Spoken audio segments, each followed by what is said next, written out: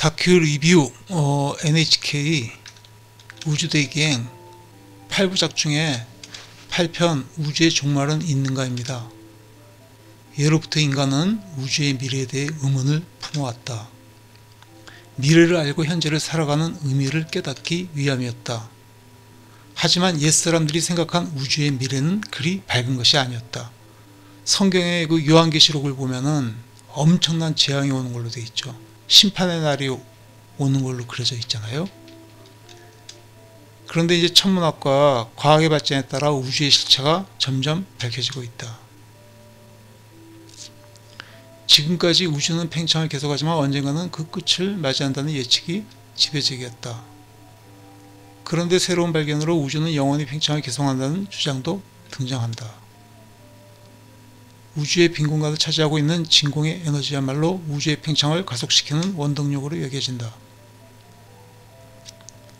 별도, 은하도, 블랙홀도 모두 사라진 채 끝없는 팽창을 계속한다는 주장도 있는 반면 우주는 또 다른 우주들을 영원히 만들어간다는 흥미로운 연구 결과도 있다. 그리고 인간이 우리 우주를 벗어나 다른 우주에서 살아갈 길을 모색하는 움직임도 있다. 인간이 미지의 대우주를 탐험하기 시작한 지금 우린 드넓은 모래밭에서 겨우 하늘의 모래를 보고 있을 뿐이다. 하늘의 모래가 아니죠. 지금 무한대 우주에서 우리가 뭐 지금 보기 시작한 게 하나의 먼지도 안 되죠. 앞으로 인간이 끊임없는 연구를 통해 우주의 실체를 밝혀내길 기대해 본다. 지금 허블이 그 적색편의 현상을 관찰해 가지고 우주가 팽창한다는 사실을 발견을 한 거죠. 그래서 이제 우주, 우주 팽창론이 그래서 이제 나온 거죠. 인력의 영향이 비교적 적은 경우 우주는 계속해서 팽창하지만 그 속도는 무척이나 더디게 진행됩니다.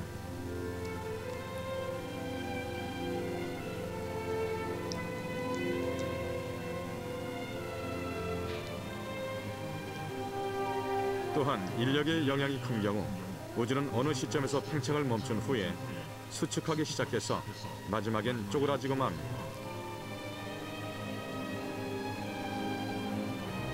우주는 이 두 미래 중에서 어느 쪽으로 진행할까요?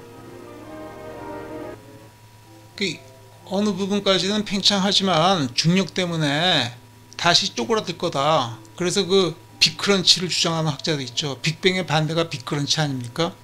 다시 이제 한 곳으로 모여갖고 부딪힌다 이제 이런 얘기인데 근데 이제 이게 팽창하는 그 속도가 지금 그 이거를 초신성을 관찰하면 그 팽창 속도를 계산할 수 있다는 거예요.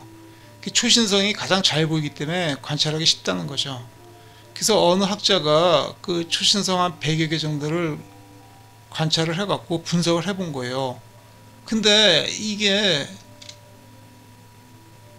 팽창이 팽창 속도가 가속화된다는 거예요 지금 깜짝 놀란 거죠 그 도대체 왜 이렇게 우주의 팽창이 가속화될까 우주의 팽창이 가속된다는 이 대발견으로 더 큰 수수께끼가 생겼습니다.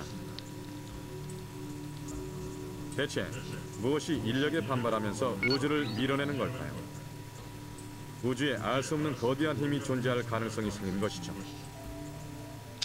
그 뭔가 밀어내는 힘이 있다는 거죠. 그런데 그 이상하게 그 완전한 진공 속에서도 이렇게 입자가 나타나는데요.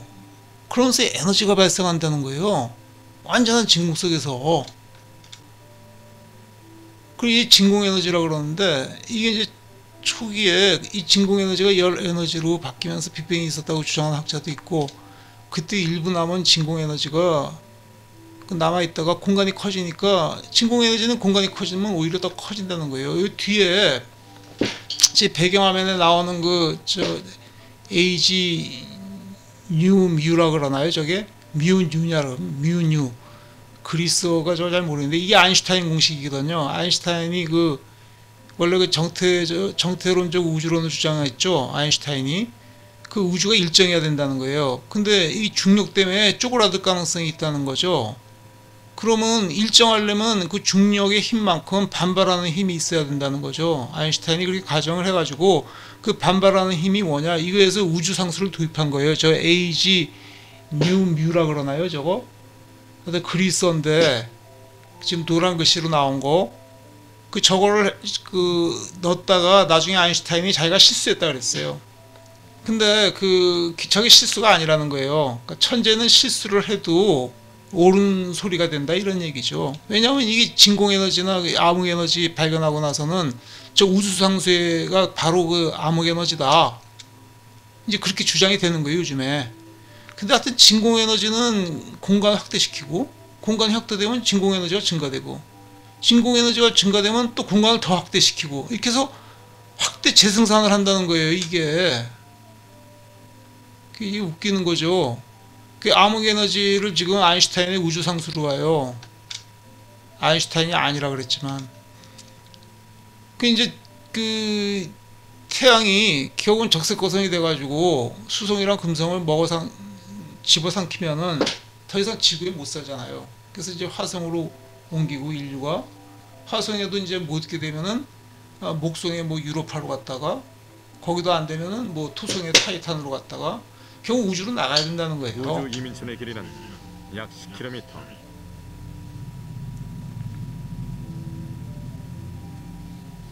이민촌 전체를 회전시켜서 그 원심력으로 인공적인 중력을 만들어냅니다. 초장에는 뭐 인공중력을 만들어 갖고 인간의 몸을 유지하겠지만 우주로 나가면은 이제는 그렇게는 더 이상 안 된다는 얘기죠. 우주에 살기 적합하게끔 개조를 시켜야 된다는 얘기예요. 그래서 우주에서 위존공학은 필수적이라는 거죠. 인간이 개조가 돼야 된다는 거예요. 우주에 맞게. 그래서 심지어는 그 전기 생명체를 주장하는 사람들도 있어요. 이 우주의 지적 생명은 전기를 띤 입체가 전기력으로 합쳐진 집합체라고 합니다. 딱히 정해진 형태는 없지만 신호를 전달하는 신경이나 근육에 해당하는 조직이 있어서 생물로서 기능하고 생각하는 능력도 지니고 있죠. 우리 그 사고력이 전기 신호에서 온다는 거 아닙니까? 전기 신호로 사고를 하고 그거를 저장하고 이런 것만 있으면 된다는 얘기예요. 그 우주의 종말에는 수소와 헬륨이 모두 연소되고 나면 별은 더 이상 탄생하지 않게 되고 블랙홀만 남았다가 블랙홀까지 폭발하고 나면 암흑 에너지만 남게 된다는 거죠. 그 우주는 하나의 풍선으로 구성되어 있고 끊임없이 또 다른 풍선을 만들어낸다는 주장도 있다. 왜냐하면 확대지 생산되니까 밑도 끝도 없는 거예요. 암흑 에너지가 또 공간을 확대시키고 공간이 암흑 에너지를 만들어내고 계속 확대된다는 얘기죠. 그러니까 풍선을 계속 만들어낸다는 얘기예요. 웜홀은 다른 우주로 가는 통로라고 할 수 있다. 그 배경화면에 웜홀의 그 저기 모형이 그려져 있죠. 그 우리의 우주관은 변하고 있다. 이게 8편 우주의 종말은 있는가의 내용입니다.